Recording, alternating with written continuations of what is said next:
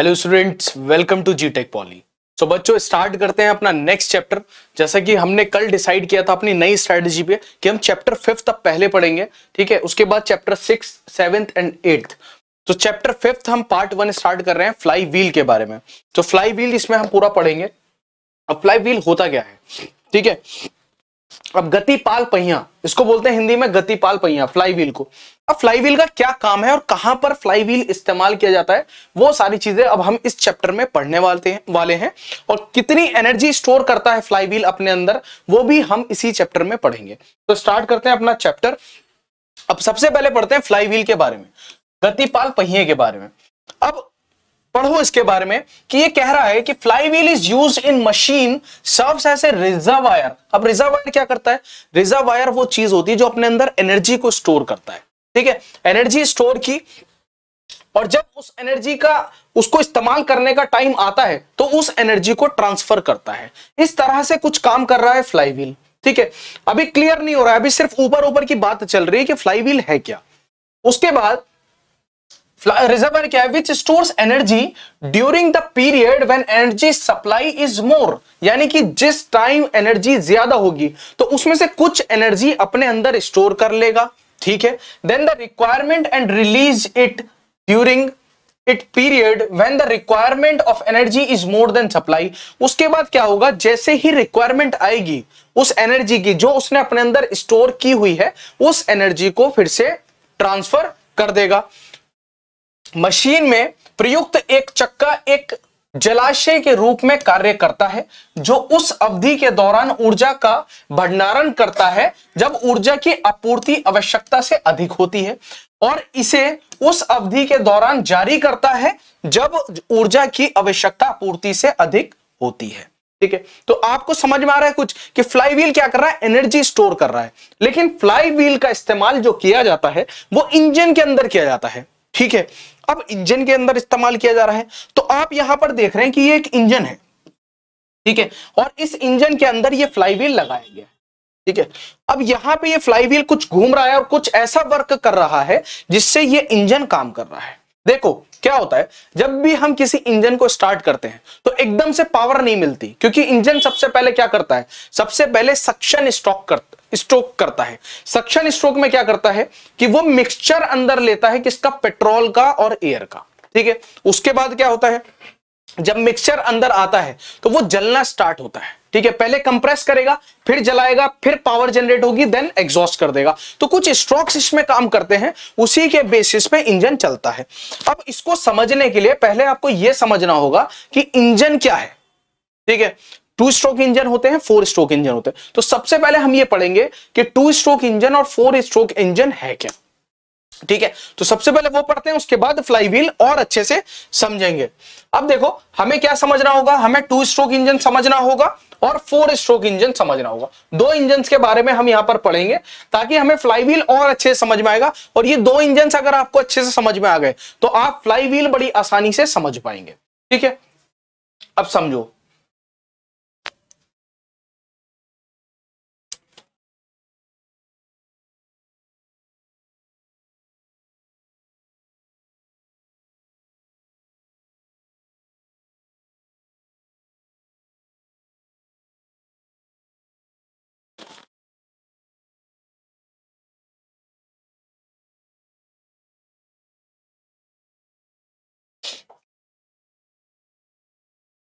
अब सबसे पहले क्या करते हैं? सबसे पहले ये समझते हैं एक कार है, ठीक है? अब कार के अंदर इंजन होगा ना? तो अब इंजन आपको पता है कहाँ होता है? इंजन गाड़ी के बॉनेट के अंदर होता है। तो अब मुझे ये बॉनेट खोलना पड़ेगा। और इस बॉनेट को जब मैं खोलूँगा तो मुझे कोई चीज़ नज़र आएगी, उसको इंजन बोला जाता है। ठीक है? तो इस बॉनेट को ओपन करें। जब इस बॉनेट को मैं ओपन करूँगा तो मुझे क्या नज़र आएगा? इंजन नज़र आएगा। कौन सा इंजन होगा वो? फोर स्ट्रोक इंजन होगा। तो एक चीज़ तो आपको क्लियर हो गई कि फोर स्ट्रोक इंजन का यूज़ किसमें किया जाता है? गाड़ी में किया जाता है। तो इसका बॉनेट ओपन करते हैं। जैसे ही मैंने इसका बॉनेट ओपन किया, मुझे इस तरह का कुछ नज़र आया। ठीक है? ये क्या है? ये फोर स्ट्रोक इंजन है। अरे बाप रे, बड़ा खतरनाक सा लग रहा है। अब इसे धीरे धीरे से हम समझेंगे। इसमें क्या है? इसमें इनलेट वॉल्व है एग्जॉस्ट वॉल्व है पिस्टन लगा हुआ है और कोई ऐसी प्रोसेस कर रहा है जिससे पावर जनरेट हो रही है और गाड़ी आगे चल रही है। ठीक है? अब इसको समझते हैं। ये काम करता किस तरीके से? वो समझिए। एक हमारा इंजन है सिंपल और फ्लाई व्हील इसी इंजन में एक क्या कर रहा है? एक ब्रिज की तरह काम कर रहा है। ठीक है? ब्रिज यानी कि जो पावर की जो एनर्जी की आपूर्ति है, उसको पूरा कर रहा है, उसको रुकने नहीं दे रहा। है ना? एक मीडियम की तरह काम कर रहा है फ्लाई व्हील इसमें। अब देखो, सबसे पहले जब हम फोर स्ट्रोक इंजन समझेंगे तो फोर स्ट्रोक इंजन में चार स्ट्रोक्स होते हैं। ठीक है? चार स्ट्रोक होते हैं, जिसमें से पहला स्ट्रोक होता है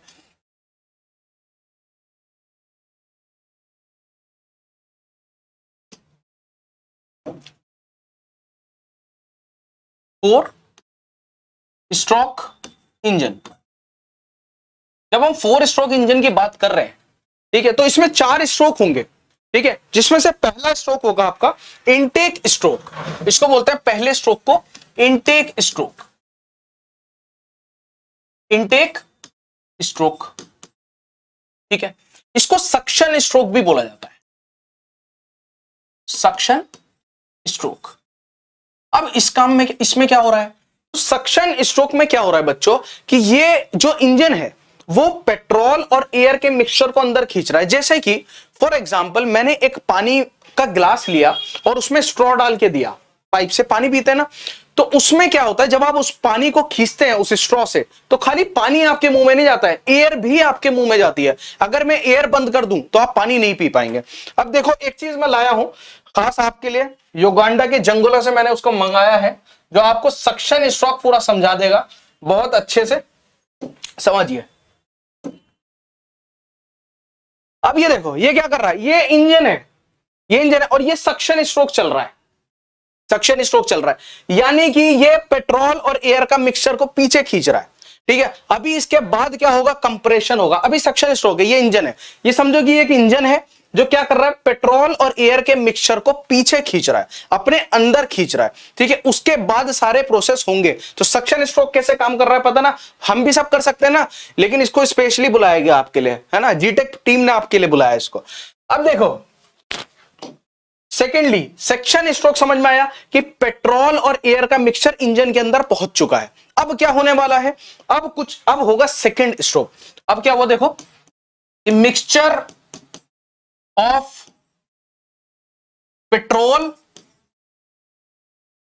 and air engine के अंदर जा चुका है। अब जैसे ही ये अंदर गया, क्या होगा? एक स्ट्रोक पूरा हुआ सेकंड स्ट्रोक स्टार्ट होगा। तो जैसे ही सेकंड स्ट्रोक स्टार्ट होगा, हमारा क्या होगा? इसको बोलते हैं compression stroke compression stroke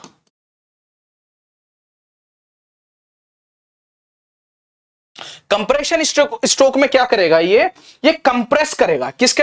air के और पेट्रोल के मिक्सचर को कंप्रेस करेगा उसे दबाएगा। आपने देखा कि आप एक, किसी भी चीज़ को ओपन में जलाइए, कुछ नहीं होता। लेकिन अगर आपने सिलेंडर में आग लगा दी सिलेंडर क्या होता है? बंद होता है। तो सिलेंडर की शेप का ही होता है। इंजन जो है, वो सिलेंडर ही है। अगर आपने इसको जला दिया और ये बंद हो गया तो क्या होगा? ब्लास्ट होगा इसमें। ये फटेगा, है ना? साथ में लेकर के कुछ और, कुछ भी और भी फटेगा। अब तो ये ना फटे, इसके लिए क्या किया, सिलेंडर को कवर किया जाता है अच्छे से।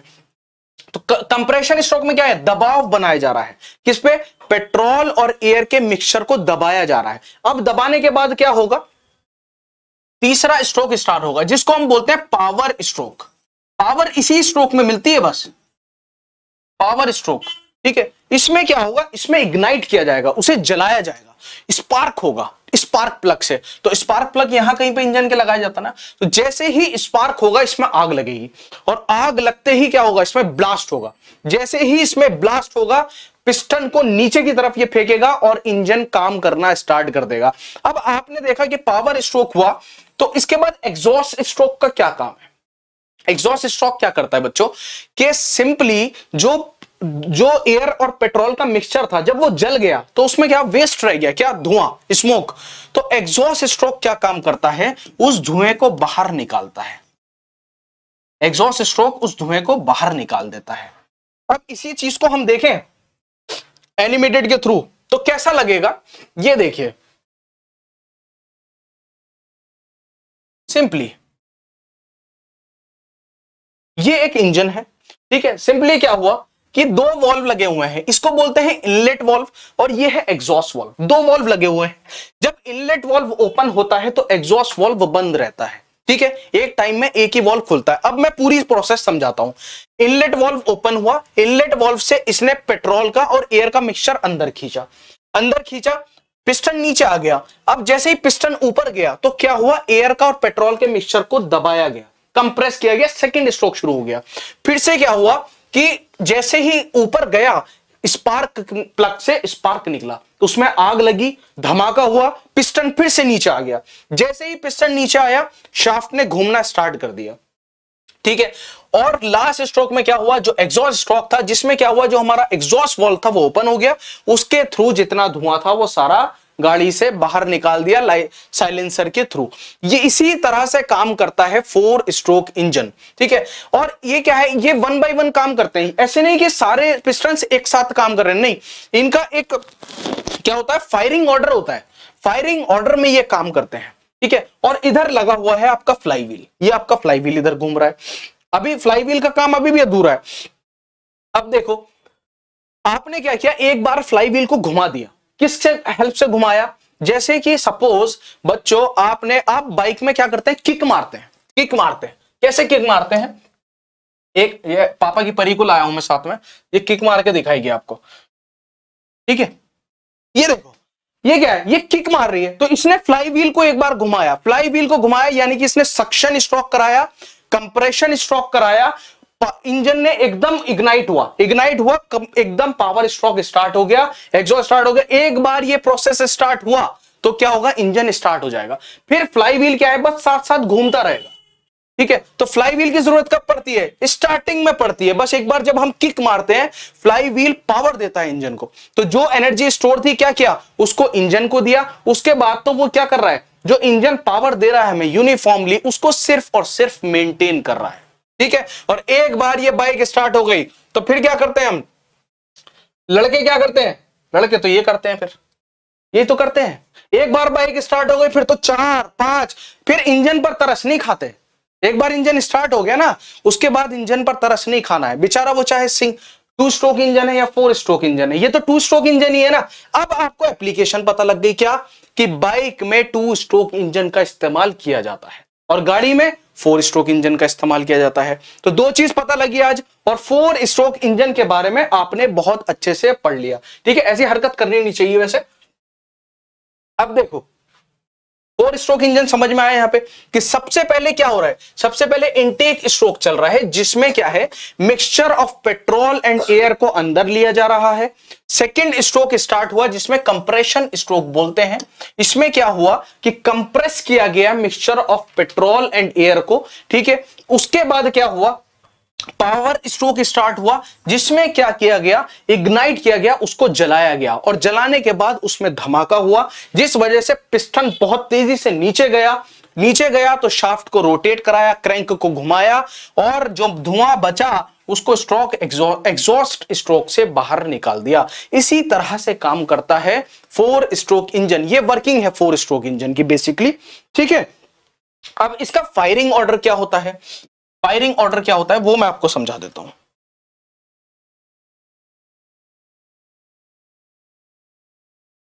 फायरिंग ऑर्डर होता क्या है? फायरिंग ऑर्डर का मतलब यह है कि ये एक साथ सारे पिस्टन मूव नहीं कर रहे हैं। कभी कोई पिस्टन मूव कर रहा है, कभी कोई पिस्टन मूव कर रहा है, कभी कोई कभी कोई, क्योंकि चार पिस्टन एक साथ लगे हुए हैं। तो ये नहीं, कभी एक पिस्टन पावर देगा, कभी दूसरा पिस्टन पावर देगा, कभी तीसरा देगा, कभी चौथा देगा तो पावर लगातार फोर स्ट्रोक इंजन को पावर लगातार मिलती रहती है। ठीक है? तभी तो पावरफुल इंजन बनता है। अब तो इसका फायरिंग ऑर्डर क्या होता है? इसका फायरिंग ऑर्डर होता है वन थ्री फोर टू यानी कि अगर चार पिस्टन लगे हुए हैं, ये देखो। ये इस तरह से है, ठीक है? चार पिस्टन लगा देते हैं इस पर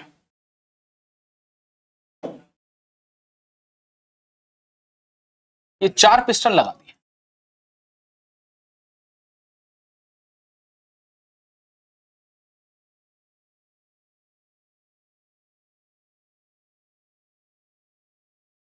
ये मैंने चार पिस्टन लगाए तो क्या होगा?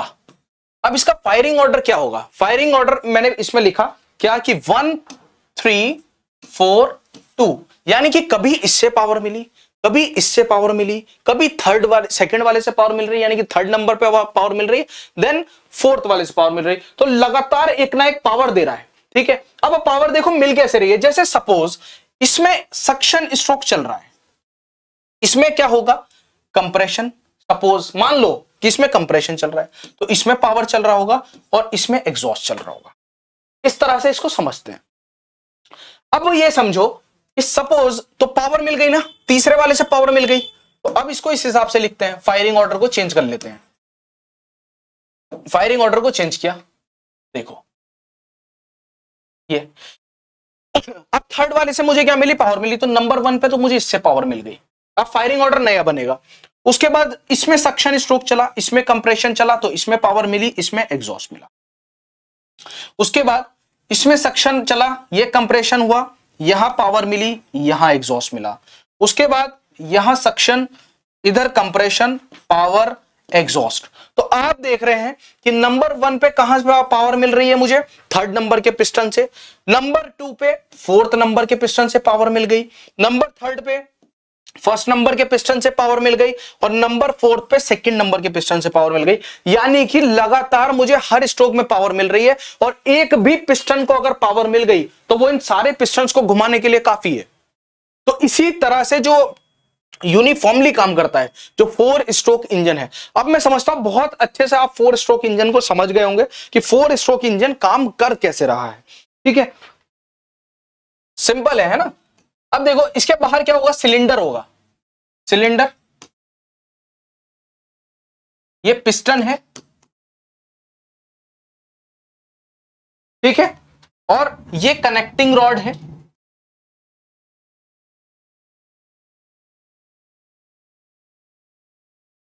कनेक्टिंग रॉड है। ठीक है? और यहाँ पर ये ये जो है, ये वाली पार्ट ये शाफ्ट है। ये शाफ्ट है। तो ये हुआ आपका फोर्स स्ट्रोक इंजन कंप्लीट अब हम टू स्ट्रोक इंजन के बारे में पढ़ेंगे। सो so, बच्चों अब हम स्टार्ट करेंगे टू स्ट्रोक इंजन को देखेंगे। ठीक है फोर स्ट्रोक इंजन बड़ी अच्छी से समझ में आया ना आपको कि फोर स्ट्रोक इंजन क्या कर रहा है? चार स्ट्रोक्स में काम हो रहा है।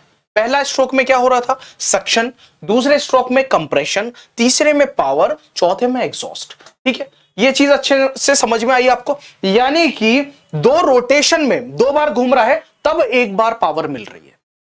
दो बार घूम रहा है, तब एक बार पावर मिल रही है। अब मैं बात करूँगा टू स्ट्रोक इंजन की। तो जब टू स्ट्रोक इंजन की हम बात करते हैं तो इसमें दो ही स्ट्रोक्स होते हैं। यानी कि एक स्ट्रोक में क्या करेगा ये? एक स्ट्रोक में पेट्रोल और एयर के मिक्सचर को अंदर भी लेगा और कंप्रेस भी कर देगा। दूसरे में पावर भी जनरेट करेगा, यानी कि जला भी देगा और एग्जॉस्ट भी कर देगा। यानी कि दो स्ट्रोक्स में ही दोनों सारे काम, चारों जो हमारी ऑपरेशन है, वो कंप्लीट हो रहे हैं। अब देखो, ये एक टू स्ट्रोक इंजन है। तो अब ये काम कैसे करता है? वो पहले एक बार देखते हैं। उसके बाद उसी में मैं आपको समझा दूँगा अच्छे से। ये देखिए, ये एक हमारा टू स्ट्रोक इंजन है।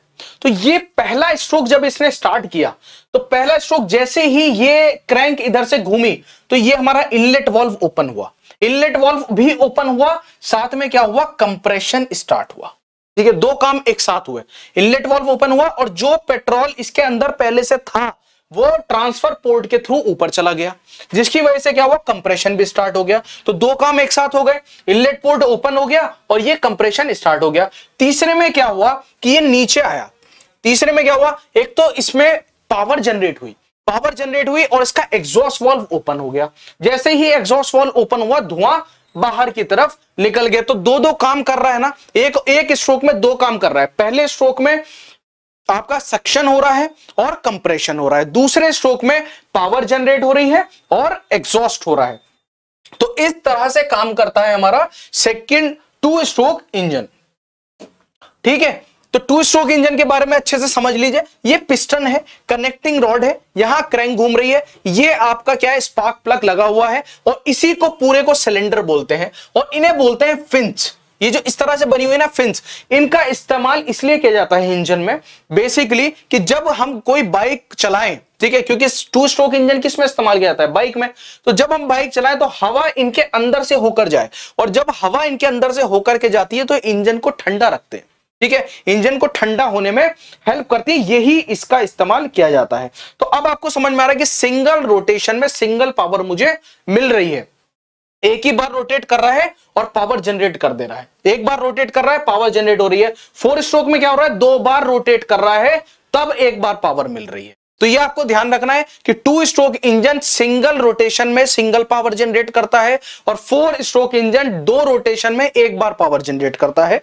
ठीक है, अब हम स्टार्ट करेंगे फ्लाई व्हील तो फ्लाई व्हील स्टार्ट करने, करते करते हम इंजन के बारे में भी साथ साथ समझते चल रहे हैं। ठीक है, अब जब सिंगल सिलेंडर इंजन हमने पढ़ा अभी, क्या पढ़ा? Single cylinder engine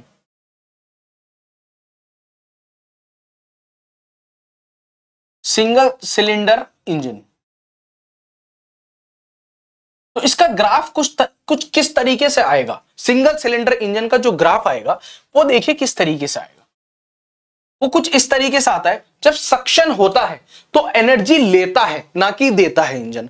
तो जब सक्शन हो रहा है सबसे पहला कौन सा स्ट्रोक है? Suction stroke. तो एनर्जी ली उसने। यानी कि नेगेटिव गया ग्राफ। नीचे की तरफ़ गया। है ना? उसके बाद माइनस में गया ना ग्राफ उसके बाद क्या हुआ? कंप्रेशन हुआ तो फिर से एनर्जी ली। फिर से एनर्जी ली। अब क्या हुआ? एकदम से जब कंप्रेशन हुआ तो एकदम से पावर जनरेट हुई। और जैसे ही पावर जनरेट हुई ग्राफ हमारा प्लस में गया। जैसे ही ग्राफ प्लस में गया पावर जनरेट हुई, उसके बाद क्या हुआ? एग्जॉस्ट फिर से नेगेटिव तो इस तरह से होता है टू स्ट्रोक इंजन का ग्राफ सबसे पहले क्या हो रहा है? यहाँ पर सक्शन हो रहा है। उसके बाद कंप्रेशन हो रहा है। तब भी हम एनर्जी दे रहे हैं, हमें कोई एनर्जी नहीं मिल रही। सिर्फ़ पावर स्ट्रोक में हमें एनर्जी मिली। पावर स्ट्रोक में एनर्जी मिली और final exhaust stroke exhaust stroke में एनर्जी हमने दी। हमें कोई एनर्जी एग्जॉस्ट स्ट्रोक में नहीं मिलती।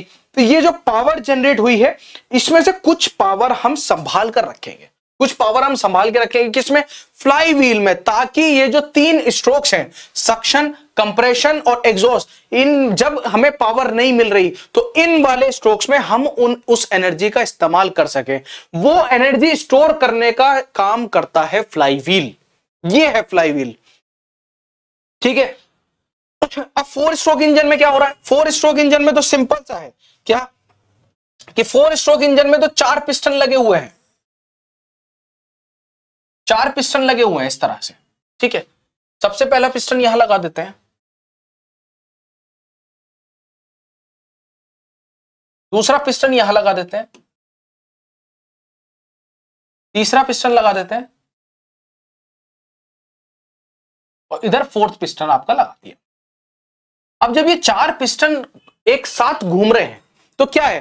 कभी किसी पिस्टन से पावर मिल रही है, कभी किसी पिस्टन से पावर मिल रही है। सपोज़ ये वाला जो पिस्टन है हमारा वो सक्शन स्ट्रोक में है सपोज़ है ना और ये वाला जो है कंप्रेशन में है ये पावर में है और ये एग्जॉस्ट में है ठीक है दूसरा एक बार कि ये सक्शन में है ये कंप्रेशन में है ये पावर में है तो ये एग्जॉस्ट में है ठीक है अब ये सक्शन में है ये पावर में है कंप्रेशन में है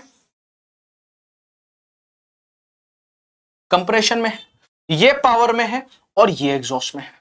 लास्ट ये अब सक्शन में है, ये कंप्रेशन में है, ये पावर में है, ये एग्जॉस्ट में तो आप देख रहे हैं, किसी ना किसी बार में पावर मिल रही है। एक बार यहाँ से पावर मिल गई, एक बार यहाँ से पावर मिल गई, एक बार यहाँ से पावर मिल गई, एक बार यहाँ से पावर मिल गई। तो मैं देख रहा हूँ कि हर बार कोई ना कोई पिस्टन मुझे पावर दे रहा है। हर बार दे रहा है। तो एक पिस्टन को एक टाइम में पावर मिल रही है तो वो तीनों पिस्टन को डिस्ट्रीब्यूट करता रहेगा, ये क्रैंक घूमती रहेगी। ये रुकेगी नहीं। यूनिफॉर्म एनर्जी मुझे मिलती रहेगी यूनिफॉर्मली पावर मुझे मिलती रहेगी। इसी तरह से फोर स्ट्रोक इंजन काम करता है। इसको कहीं ना कहीं से पावर मिलती रहती है। अगर फ्लाई व्हील नहीं होगा तो इंजन स्टार्ट ही नहीं होगा। ठीक है? इंजन स्टार्ट नहीं होगा, क्योंकि फ्लाई व्हील क्या कर रहा है? इसको स्टार्टिंग वाला रोटेशन दे रहा है। स्टार्टिंग में एक रोटेशन दे रहा है, एक बार घुमा रहा है, उसके बाद तो इंजन अपने आप घूम रहा है। ठीक है? जैसे सिंपली मैं क्या करता हूँ, जैसे मैं एक कार है ये कार है। कार में हम क्या करते हैं? सिंपली एक बटन प्रेस किया। बटन प्रेस किया और गाड़ी का क्या है? सेल्फ हम बोलते हैं सेल्फ से स्टार्ट कर लो। ठीक है? चाबी घुमा दी या बटन अब तो बटन आ रहा है। तो बटन को प्रेस किया तो बटन क्या करता है? बटन एक सिग्नल जाता है किसमें? बैटरी में। ठीक है? बैटरी से पावर जाती है इलेक्ट्रिसिटी जाती है मोटर में। और मोटर क्या करता है? फ्लाई व्हील को घुमाता है। ठीक है? और वो फ्लाई व्हील एक बार स्ट्रोक पूरा करता है, उसके बाद इंजन गाड़ी का स्टार्ट हो जाता है, फिर तो घूमता रहता है वो साथ में। तो बार बार थोड़ी ना आपको सेल्फ मारने की ज़रूरत पड़ती है। एक बार गाड़ी स्टार्ट कर दी, गाड़ी स्टार्ट हो गई तो कितना कैसा प्रोसेस है कि आपने एक बटन दबाया, उससे बैटरी ने क्या किया? बैटरी ने पावर दी किसको? मोटर को, जिसको हम सेल्फ बोलते हैं। वो एक मोटर होती है। उस मोटर ने फ्लाई व्हील को घुमाया, और फ्लाई व्हील ने इंजन को घुमाया, उसके बाद इंजन स्टार्ट हो गया। तो इसी तरह से फोर स्ट्रोक इंजन काम करता है। इसी तरह से हम गाड़ी को स्टार्ट करते हैं। तो फ्लाई व्हील स्टोर कर रहा है एनर्जी को और दे रहा है किसको इंजन को जब किस टाइम पे? सक्शन के टाइम पे कंप्रेशन के टाइम पे या एग्जॉस्ट के टाइम पर। ठीक है, अब हम पढ़ेंगे इसमें आगे। इतना हो गया है हमारा। अब हम इसमें पढ़ेंगे फ़ंक्शन फ्लाईवील का फ़ंक्शन क्या है? अब मैं अगर आप इस चीज़ को पढ़ाऊँगा आपको तो ये आपको बहुत आसान लगने लग जाएगी। तो अब देखो, गतिपाल पहिए के कार्य। अब इसके कार्य पढ़ रहे तो फ़ंक्शन तो आप इसका पहले ही समझ सकते सके हैं, समझ चुके हैं कि क्या है एनर्जी को स्टोर कर रहा है। तो वही चीज़ को यहाँ पर लिखा गया है कि वास्तविक रूप में इंजन समान गति से क्रियाशील रहते हैं। अंत ऊर्जा के उत्पादन एवं ऊर्जा की खपत की अवस्थाओं के मध्य संतुलन रखने के लिए हम गतिपाल पहिए फ्लाई व्हील को प्रयोग करते हैं। ठीक है? गतिपाल पहिए का कार्य इंजन सिलेंडर में अधिक ऊर्जा के उत्पादन की दशा में उसे शोषित करना एवं कम ऊर्जा उत्पादन के समय पूर्व शोषित ऊर्जा को पिस्टन को प्राप्त करना है। ठीक है? जिससे इंजन समान गति यानी कि यूनिफॉर्म स्पीड से क्रियाशील रह सके। ठीक है? इंजन की स्पीड में कोई फ़र्क ना पड़े। तो फ्लाई व्हील क्या कर रहा है? उसी चीज़ को जब टाइम है, जब एनर्जी ज़्यादा स्टोर हुई तो उसमें से कुछ एनर्जी को स्टोर कर लिया। जब सक्शन कंप्रेशन की बारी आई तो एनर्जी दे दी। यही काम फ्लाई व्हील का रहता है। गतिपाल पहिए में घुमाऊ गुण को संचित करने का गुण, उसके जड़ता गुण यानी कि मूवमेंट ऑफ़ इनर्शिया के कारण होता है। गतिपाल पहिया इंजन के शक्ति स्ट्रोक यानी कि पावर स्ट्रोक में उत्पन्न अतिरिक्त ऊर्जा को अवशोषित कर लेती है। यानी कि पावर स्ट्रोक के टाइम पे क्या किया? उसने एनर्जी को स्टोर कर लिया। इंजन के अन्य स्ट्रोकों जैसे जैसे सक्शन स्ट्रोक कंप्रेशन स्ट्रोक या पावर आपका एग्जॉस्ट स्ट्रोक में ये ऊर्जा क्रैंक शाफ्ट पर त्याग यानी कि रिलीज़ कर देता है। इस प्रकार इंजन प्रक्रियाओं के प्रत्येक चक्र यानी कि ईच साइकिल ऑफ़ ऑपरेशन हर साइकिल को बड़ी आसानी से पूरा करता है और घुमाव घूर्ण के उतार चढ़ाव के कारण होने वाली गति परिवर्तनों को गतिपाल पहिए यानी कि फ्लाईव्हील द्वारा नियंत्रित किया जाता है। ठीक है? तो अब क्या हो रहा है? यूनिफॉर्मली इंजन काम कर रहा है बड़ी आसानी से। किसकी हेल्प से? फ्लाई व्हील की हेल्प से। तो ये पूरा फ़ंक्शन है। किसका? फ्लाई व्हील का। अब देखो, इसका टर्निंग मूवमेंट डायग्राम पढ़ेंगे। बहुत इंपॉर्टेंट टॉपिक है। एग्ज़ाम में बहुत ज़्यादा पूछा जाता है टर्निंग मूवमेंट डायग्राम ठीक है? तो टर्निंग मूवमेंट डायग्राम पढ़ेंगे। घुमाव घूर्ण का आरेख के बारे में हम पढ़ेंगे। अब देखो, इसमें करना क्या है? जब फोर बार सबसे पहले दो कंडीशन के लिए हम इसमें पढ़ेंगे। पहला होगा, पहला क्या होगा? Four stroke petrol engine four stroke petrol engine के लिए पहले मैं इसको पढ़ूँगा। ठीक है? अब देखो, जब फोर स्ट्रोक पेट्रोल इंजन है तो टर्निंग मूवमेंट डायग्राम किस तरीके का बनेगा, वो एक बार देख लेते हैं। सबसे पहले स्ट्रोक्स होते क्या क्या है, वो समझते हैं। वही पुराना वाला डायग्राम जो अभी हमने थोड़ी देर पहले पढ़ा था, क्या सक्शन हुआ? सक्शन हुआ तो एनर्जी दी कंप्रेशन हुआ, फिर से एनर्जी दी पावर हुआ एनर्जी मिली एग्जॉस्ट हुआ, फिर से एनर्जी दी। ये तो हमारा टर्निंग मूवमेंट डायग्राम हो गया। ठीक है, अब इसमें क्या है, ये जो है इसको थीटा से डिनोट किया जाता है, जिसको हम बोलते हैं एंगल ऑफ़ क्रैंक। क्रैंक का कोड ठीक है? एंगल ऑफ़ क्रैंक, ये है। Angle of crank. Angle of crank मतलब कि क्रैंक कितना रोटेट किया। कितने एंगल पे रोटेट किया? उसको एंगल ऑफ़ क्रैंक बोलते हैं। और ये आ गया आपका turning moment. Turning turning moment तो इस तरह का डायग्राम बनता है किसके लिए? फोर स्ट्रोक इंजन के लिए। फोर स्ट्रोक पेट्रोल इंजन के लिए।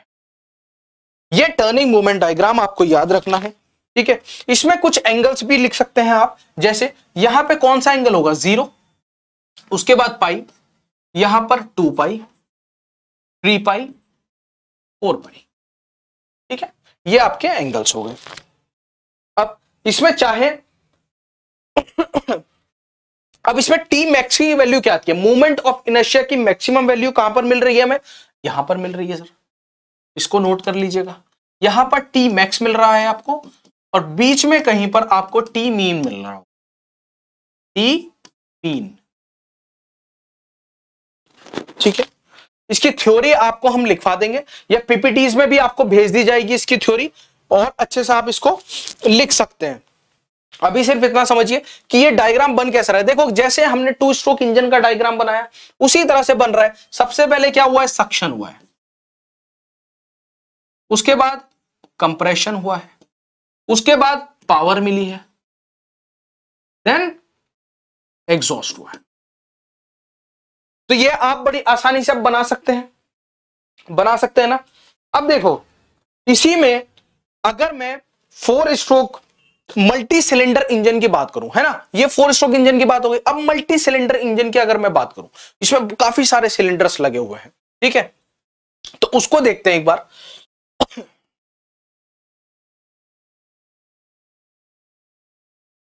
Second for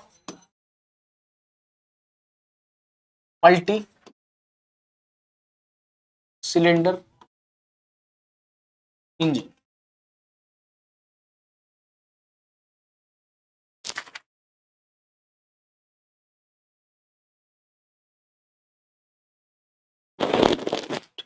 वो सिंगल सिलेंडर था, ध्यान से रख, लिख लीजिएगा। Single cylinder, four stroke engine. Single cylinder, four stroke engine के लिए ये वाला टर्निंग मूवमेंट डायग्राम आप बनाएँगे। बहुत आसान है, ठीक है? उसके बाद पढ़ेंगे मल्टी सिलेंडर के लिए, ठीक है? Multi cylinder engine. काफ़ी सारे सिलेंडर लगा दिए गए हैं। अब देखो, मल्टी सिलेंडर इंजन किस तरह से काम कर रहा है? वही अपना पुराना वाला क्या है? कभी ना कभी पावर मिल रही है। किसी ना किसी स्ट्रोक से पावर मिले जा रही है है ना? अब देखो उसमें होगा क्या? उसका डायग्राम किस तरीके से बनेगा? ये देखना। पहले एक बार वही अपना पुराना डायग्राम बना लेते हैं। ये देखो।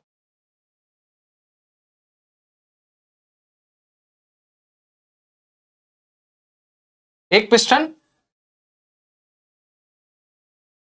दूसरा पिस्टन है।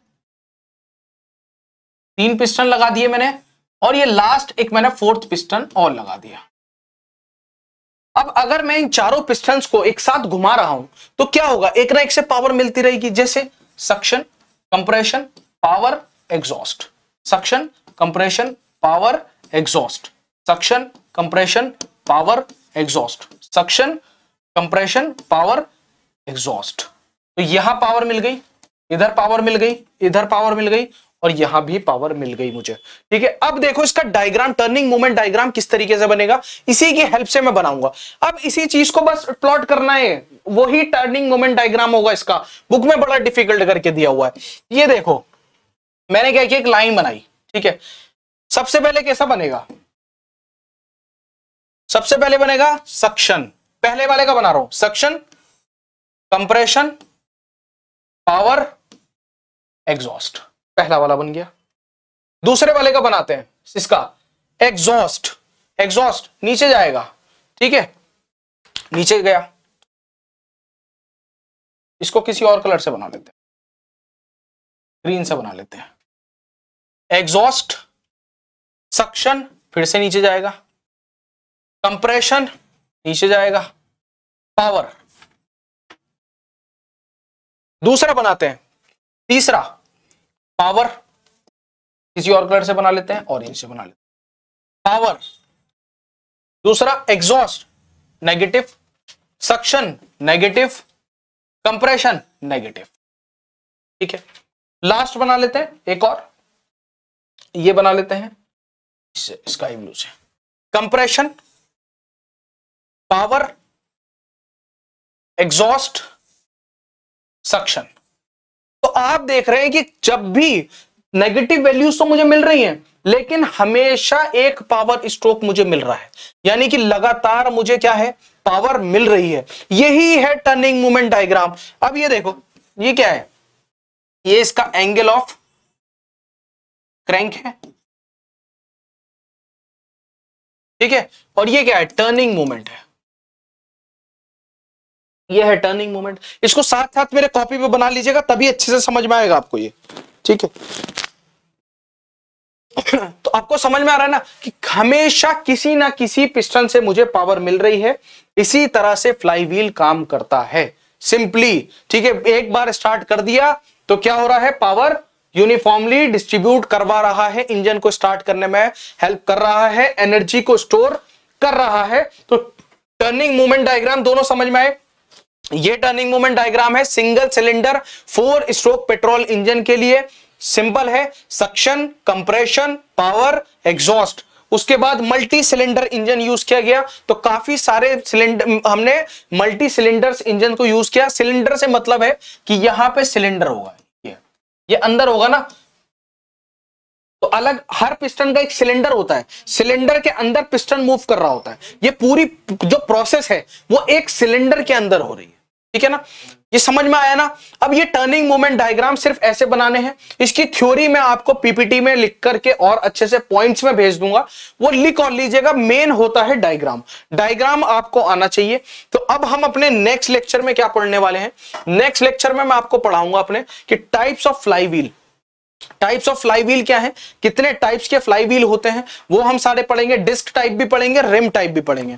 तो मिलते हैं अपने नेक्स्ट लेक्चर में। लेक्चर को शेयर करना ना भूलें चैनल को सब्सक्राइब करना ना भूलें लाइक करना ना भूलें कमेंट करते रहिएगा। मिलते हैं नेक्स्ट लेक्चर में। सी यू बाय